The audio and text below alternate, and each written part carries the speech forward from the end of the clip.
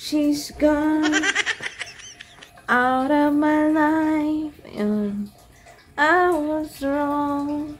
I'm to blame. I was oh. Nagulat yung isda ko.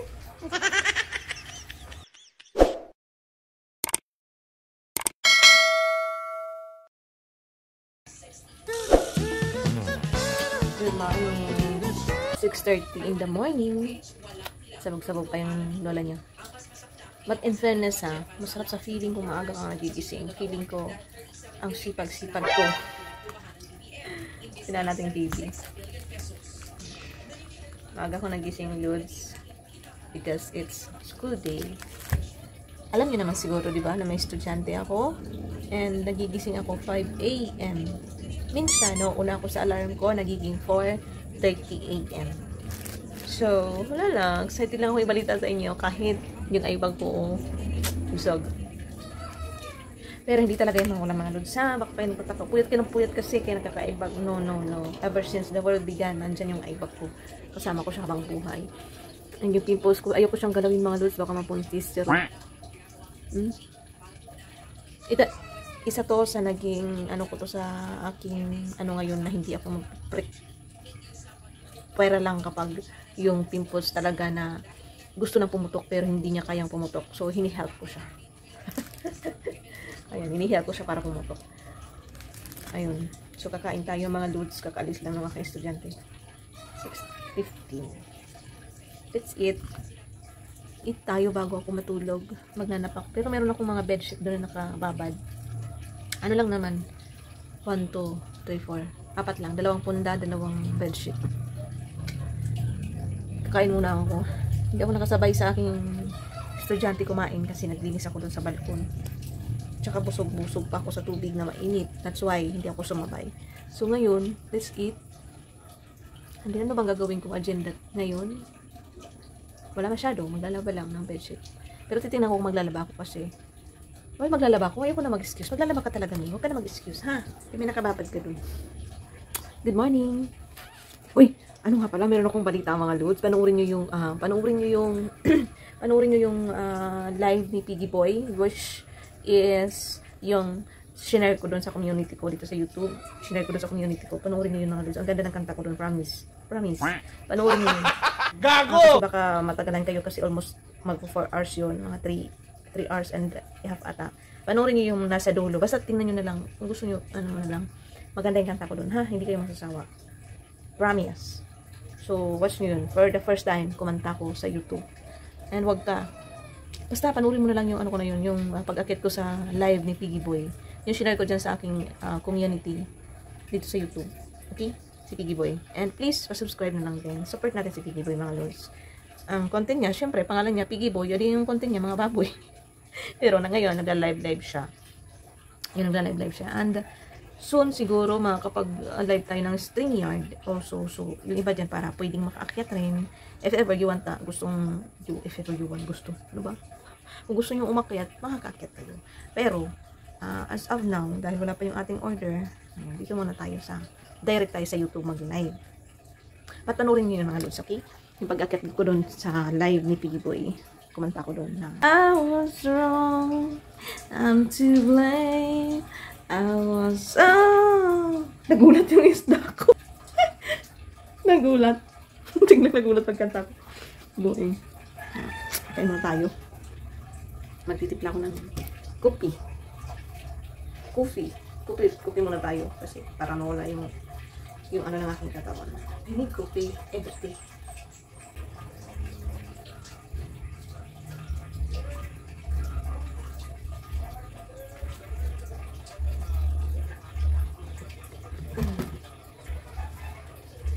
Let's eat. Ano? Uh, kain tayo. May ulam is puro carbs. Pansit canton.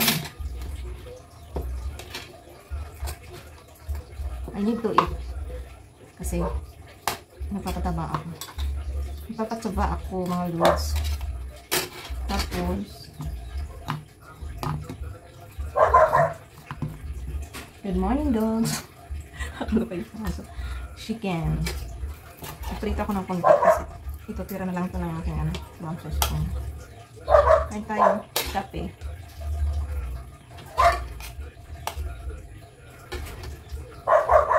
Hmm. Black pepper. Tapos pansin canton. Galing pa to ng Qatar. Sa Qatar ko pa siya in-order. Charot. Bigay ito ng kapitbahay mga lords. Meron kasi silang package from Qatar. Na ang lola nyo. Actually, sa anak ko ito binigyan siya. Kaya makikitikim lang ako. It's product of Qatar daw. Hmm. Nung natikman ko na ito, sabi niya, lasang pasit kanto lang din naman pala ma. ito siya mga lupit niya. Ito siya.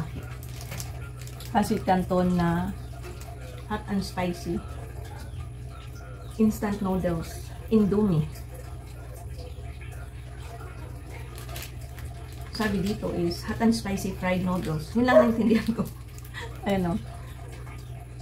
Yun lang naintindihan ko. Mm -hmm. Pero, nasa talaga siyang pancit canton. Nasa siyang pancit canton na mayroon kakaibang kang malalasahan na parang kakaiba talaga sa canton na dito sa Pinas. Hmm.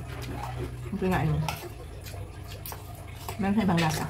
Pero, nandun pa rin syempre yung pancit canton na ano. Lasa. Ano ba? Sa'yo na yun. Meron silang package kasi from Qatar. Kala ko rin. Paranos naman ang package dyan. Kahit pancit canton na lang din. Diba? Kahit ano lang. Kahit wag ng chocolate, pancit canton na lang din. Or spam. Hindi man. Diba? Sana all. Paranos na may package it, ano, outside the counter. Hmm?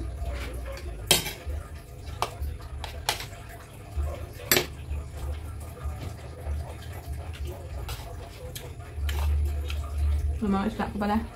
Sunod kumain din. Kain tayo mga loads. Ano pa kami tayo? Pero may pinatang kami.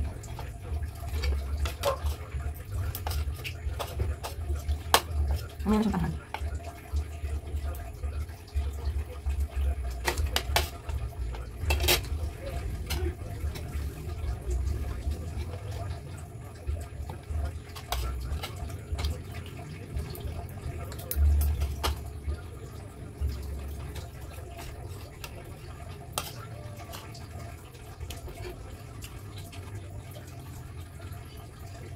Napuyat ako sa concert ko kagabi. Pero masaya. Masaya yung concert ko kagabi. Masaya. Nagutututak ko may mga kabat. Masaya mga lods. Sana nakasin tayo.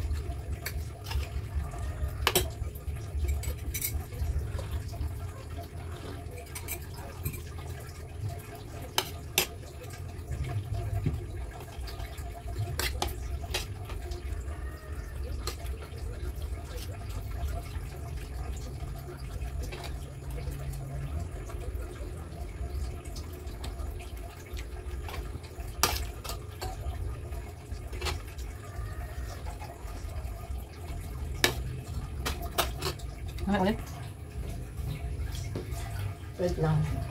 So, mga lods, nakakain na ako, nakalipit na, and napakain ko na nila akong alaga. Mag-brush na lang, tapos magwawalis para medyo makapagpahinga ako. Mamaya na ako maglalaba ng teche. Kasi baka makatulog ako sa biglang ako. Pero, basta naman yan, ha? Hindi naman ako mamadali. Hindi naman tayo nagmamadali. Mamaya na lang siguro.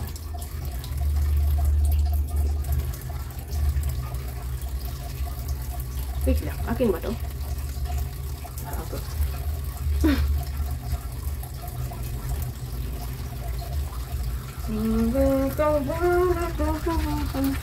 Ang pa.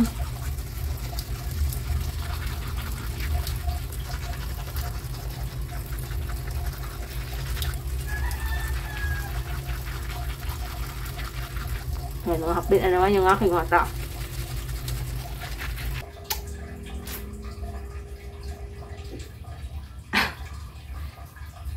magwawalis lang ako tapos